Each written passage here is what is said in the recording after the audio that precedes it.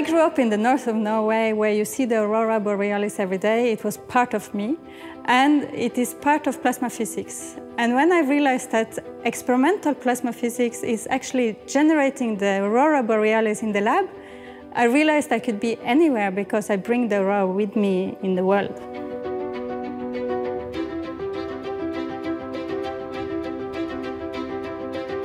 The number of satellites that will be launched uh, in the next coming years is an exponential increase, which means that we are changing completely how we are doing space.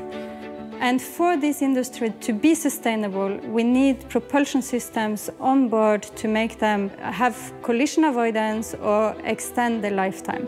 So the space industry is changing from few big and expensive satellites into smaller satellites operating in constellations.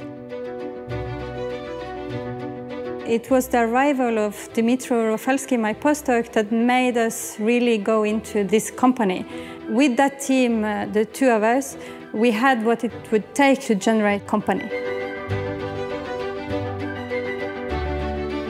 Actually, most probably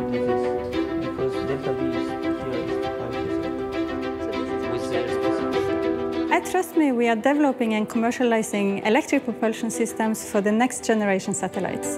And how we innovate is how we are thinking about propulsion as a smart, complete system. The reason why ThrustMe is created is to make space sustainable.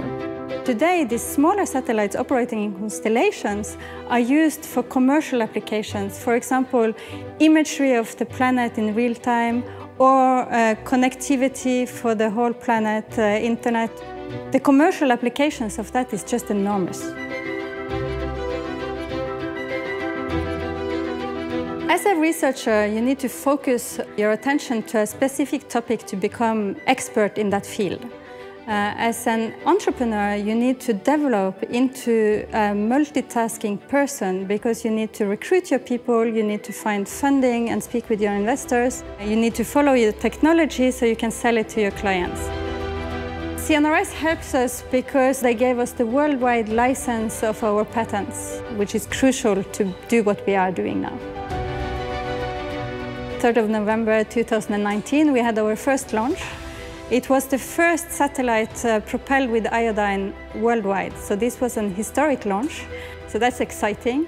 And then next year we have our first commercial contracts and we will deliver uh, to real clients.